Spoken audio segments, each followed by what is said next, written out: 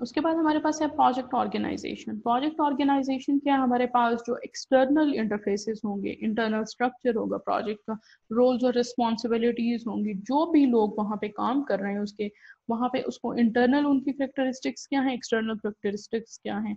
उन्होंने प्रोजेक्ट के कंप्लीट होने तक साथ देना है या उसके मेंटेनेंस फ़ेज़ के अंदर भी वो रिस्पॉन्सिबल हैं? उनके रोल्स एंड रिस्पॉन्सिबिलिटीज किस हद तक हैं? उसके बाद हमारे पास है मैनेजेरियल प्रोसेस प्लान हमारे पास जो प्रोसेस प्लान है, उसके अंदर कौन कौन सी चीज़ें इंक्लूडेड हैं? स्टार्टअप प्लान है हमारे पास हमारे पास वहाँ पे रिसोर्सेज कौन से यूज़ होनी है टूल्स कौन से यूज़ होने हैं टेक्नोलॉजीज़ कौन सी यूज़ करनी है वर्क का प्लान कौन सा है वर्क की एक्टिविटीज़ कौन सी हैं स्केड्यूल कौन सा है रिसोर्सेज कौन से यूज़ हो रही हैं बजट एलोकेशन मीन कि हमारे पास जो एक प्रोजेक्ट का फ़ेज़ है, उसको कितना बजट एलोकेट करना है नेक्स्ट हमारे पास जो टेस्टिंग का फ़ेज़ है, उसके अंदर कितना बजट एलोकेट करना है, जो हमने हमारे पास जो फाइनल एक प्रोजेक्ट आ रहा है, उसके अंदर हमने हर एक बजट हमारे पास रफ बजट आता है ना तो उसको डिवाइड करने का जो काम होता है, यहाँ पे मैनेजेरियल स्टाफ ये चीज़ कर रहा होता है कि एक एक एस्पेक्ट में हमने, एक एक स्टेप में हमने कितना कितना बजट एलोकेट करना है। हमारे पास जो कंट्रोल प्लान है, वो किस तरह से काम करेगा? किस तरह से हमने अपने प्रोजेक्ट को कंप्लीशन तक कंट्रोल रखना है? रिस्क मैनेजमेंट प्लान जो है वो किस तरह से हमने यूज़ करना है कि उस प्रोजेक्ट के जो रिस्क आते हैं, उसके अंदर कोई भी एरर्स आते हैं, कोई भी हमारे पास इनकॉन्सिस्टेंसीज आती हैं, उनको किस तरह से मैनेज करना है, हमने अपने प्लान को किस तरह से एंड टाइम पे कंप्लीट करते हुए उसका क्लोजिंग प्लान जो है वो तैयार करना है, किस तरह से वो प्रोजेक्ट को फिनिश करना है।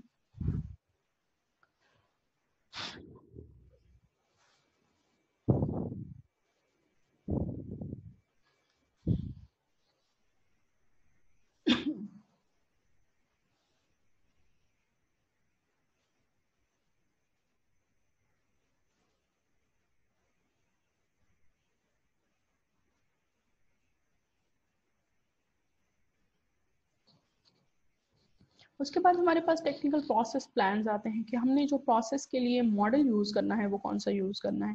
जो प्रोसेस कंट्रोल के लिए मेथड यूज़ करने हैं, जो टूल्स यूज़ करने हैं टेक्नोलॉजीज़ यूज़ करनी है, हमने टेक्निक्स यूज़ करनी है, वो कौन सी हैं? हमने इंफ्रास्ट्रक्चर अगर कोई यूज़ करना है तो उसका प्लान किस तरह सा होगा? हमने अगर प्रोडक्ट की जो एक्सेप्टेंस प्लान है, कोई उसका क्राइटेरिया उसके कोई कॉन्स्टेंट है कि प्रोजेक्ट के अंदर ये चीज़ होनी चाहिए प्रोडक्ट के अंदर ये चीज़ नहीं होनी चाहिए तो उसके प्लान को हमने फॉलो अप रखना है कि हमारा एक्सेप्टेंस का जो प्लान था वो उसी को ही मीट करे। सपोर्टिंग प्रोसेस प्लान हमारे पास कॉन्फ़िगरेशन मैनेजमेंट प्लान आता है वेरिफिकेशन और वैलिडेशन है। डॉक्यूमेंटेशन प्लान है क्वालिटी एश्योरेंस प्लान है कि क्वालिटी जो गारंटी दी गई थी, जो डिजायर्ड क्वालिटी थी, वही होनी चाहिए। क्वालिटी के स्टैंडर्ड्स जो है, वो मेंटेन रखने चाहिए। क्वालिटी हमारी लो नहीं जानी चाहिए।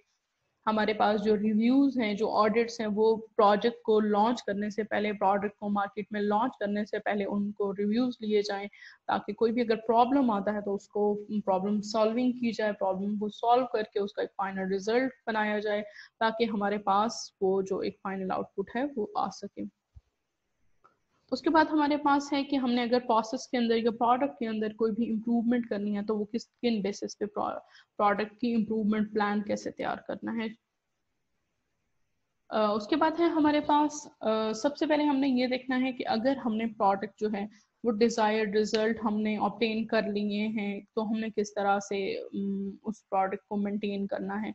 हमारे पास सबसे है कि हमने सबसे पहले जो मेन चीज़ डिफाइन करनी है ना, वो सबसे पहले ये चीज़ मेंशन की जाएगी कि प्रोजेक्ट जो है, वो हमने किस तरह से करना है by whom who will do which step हमारे पास जो बंदा जिस एक्टिविटी को परफॉर्म करेगा, वो उसकी रिस्पॉन्सिबिलिटी होगी when when we have to do this like हमने प्लानिंग uh, सबसे पहले करनी है then we have to do um, uh, हमने सबसे पहले प्लानिंग करनी है उसके बाद एग्जीक्यूशन करनी है फिर हमने प्रोटोटाइपिंग करनी है एक डमी प्रोडक्ट लॉन्च करनी है डमी प्रोडक्ट जो हमने लॉन्च की है उसमें से देखना है कोई एरर्स आते हैं उसका सर्वे किया जाएगा and then we have to discuss about how we have to do this हमने इन तीन चीज़ों को होम वेन एंड हाउ इन चीज़ों, तीनों चीज़ों को मैनेज करना है।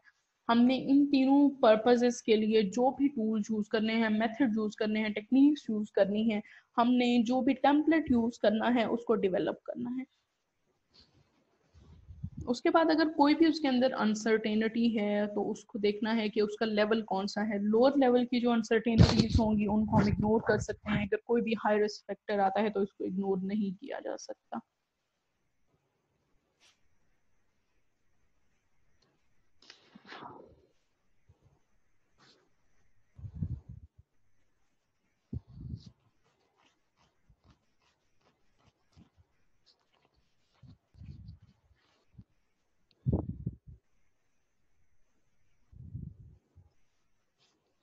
उसके बाद हमें देखना है कि directing and managing project work हमने जो प्रोजेक्ट का वर्क है, उसको किस तरह से डायरेक्ट करना है और मैनेज करना है। हमारे पास ये है कि इन्वॉल्व हो रहा होता है managing and performance the work describe in project management plan सबसे पहले जो हमने प्रोजेक्ट मैनेजमेंट प्लान तैयार किया था ना, हमने उससे कंपैरिजन करना है कि हमारे पास जो एक प्लान था कि हमने इस टाइम पीरियड में ये काम करने, कर रहे होना है। क्या हम अब वही काम कर रहे हैं या अपने डेडलाइन से पीछे चल रहे हैं? हमारे पास जो मेजॉरिटी टाइम और मनी स्पेंड होती है, वो हमारी एग्जीक्यूशन फ़ेज़ में होती है। So we have to take care about the budget budget exceed नहीं करना चाहिए। We have to meet the deadline so we have to take care about the time and money both both things are important application area हमारे पास जो है project का directly वो effect कर रहा होता है प्रोजेक्ट की एग्जीक्यूशन पे।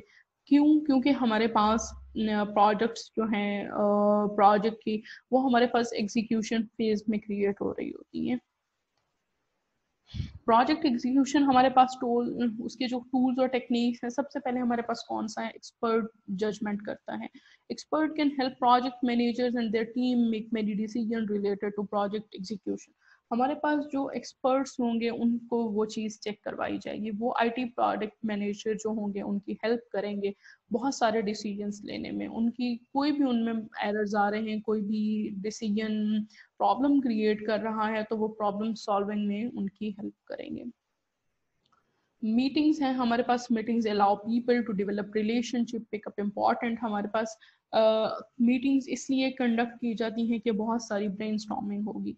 हमारे पास एक बहुत सारे डिफरेंट आइडियाज़ कलेक्ट होंगे उस प्रॉब्लम को सॉल्व करने के लिए। कोई भी हमारे पास प्रॉब्लम है उसको रिजॉल्व करना है तो डिफरेंट माइंड्स को इकट्ठा करना इज़ अ बेटर ऑप्शन हमारे पास बेस्ट ऑप्शन यही है कि ब्रेन स्टॉमिंग की जाए ब्रेन स्टॉमिंग में यही होगा कि बहुत सारे आइडियाज़ जनरेट होंगे so that we can easily choose the best option project management information systems हमारे पास hundreds of project management software products available हैं मार्केट के अंदर. बहुत सारी ऑर्गेनाइजेशन ऐसी हैं जो इनको फॉलो अप कर रही हैं. हमारे पास इंटरनेट पे बहुत सारे ऐसे मटेरियल्स मौजूद हैं मटेरियल हैं जिनसे हम कंपैरिजन कर सकते हैं, हम उनसे हेल्प ले सकते हैं कि किस तरह से हमारा जो प्रोजेक्ट है वो किस तरह से मार्केट के अंदर इन हो के कितने परसेंट यूनिक होगा तो वो उस चीज़ को हम मैनेज कर सकते हैं। Monitoring and controlling project work सबसे पहले हमारे पास क्या है कि एक चीज़ इंसान को जहन में रखनी चाहिए कि when you are developing a project you have to get ready about the changes changes तो हमारे पास इनएविटेबल हैं। आपने चेंजेस के लिए ऑलवेज रेडी रहना है। इस चीज़ को आप इग्नोर नहीं कर सकते किसी भी कंडीशन में। So it's important to develop and follow a process to monitor and control changes आपके पास कोई भी चेंजेस आती हैं तो चेंजेस पे uh, कभी भी इग्नोर mm, नहीं करना आपने। चेंजेस को आप डिक्लाइन uh, नहीं कर सकते। चेंजेस के लिए ऑलवेज uh, वेलकम करना है। प्रोजेक्ट की जो मॉनिटरिंग करनी है उसमें डाटा को कलेक्ट करना है मैयर करना है, या परफॉर्मेंस को मैनेज करना है तो उन सब चीज़ों का भी हमने दोबारा कंपैरिजन करना होता है मॉनिटर करना है, जो भी चीज़ें मटेरियल कहीं और से हम इंफॉर्मेशन है वो कलेक्ट कर रहे हैं तो उसकी ऑथेंटिसिटी चेक करनी है किस, कितने परसेंट उसमें चीज़ें ऑथेंटिक हैं, वहाँ पे चीज़ें आपने देखनी है कि परफॉर्मेंस कैसी है बेस लाइन एक डेवलप कर दी जाती है। बेस लाइन हमारे पास क्या है? Approve project management plan plus approve changes baseline के अंदर हम जो भी प्रोजेक्ट की अप्रूव्ड हमारे पास प्रोजेक्ट मैनेजमेंट प्लान की चीज़ें हैं, जो डन हो गई हैं और जो चेंजेस आई हैं, वो वहाँ पे डिस्कस होंगी। हमारे पास कॉन्फ़िगरेशन मैनेजमेंट है। कॉन्फ़िगरेशन मैनेजमेंट इस चीज़ को इंश्योर कर रहा होता है कि हमारे पास जो डिस्क्रिप्शन है प्रोजेक्ट की वो करेक्ट और कंप्लीट है। उनमें से कोई भी चीज़ मिसिंग नहीं है। जो चीज़ प्रोजेक्ट चार्टर के अंदर लिखी गई है, जो चीज़ प्रोजेक्ट मैनेजमेंट प्लान के अंदर लिखी गई है, हमारे पास कॉन्फ़िगरेशन मैनेजमेंट प्लान इस चीज़ को मेक श्योर sure कर रहा होता है कि उसके अंदर कोई भी ऐसी चीज़ नहीं होनी चाहिए जो प्रोजेक्ट में रिक्वायर्ड नहीं है। या कोई भी ऐसी चीज़ मिसिंग नहीं होनी चाहिए जो प्रोजेक्ट में रिक्वायर्ड थी और वो प्लान के अंदर डिस्कस नहीं की गई थी। तो उसके अंदर ऑल वो करेक्टरिस्टिक्स इंक्लूडेड होनी चाहिए जो हमारे पास प्रोजेक्ट के अंदर रिक्वायर्ड है। कॉन्फ़िगरेशन मैनेजमेंट प्लान हमारे पास एक डॉक्यूमेंटेड फॉर्म होता है रिक्वायरमेंट्स का। हमारे पास जो भी कंट्रोल्स हैं उनका, जो भी चेंजेस हैं उनका, जो भी कोई रिकॉर्ड है उसका, जो भी हमारे पास रिपोर्ट की चेंजेस हैं उस चीज़ों का, एक हमारे पास ऑडिट की ऑडिट को वेरीफाई करने के लिए कन्फॉर्मेंस की हमारे पास रिक्वायरमेंट का एक पूरा क्राइटेरिया होता है।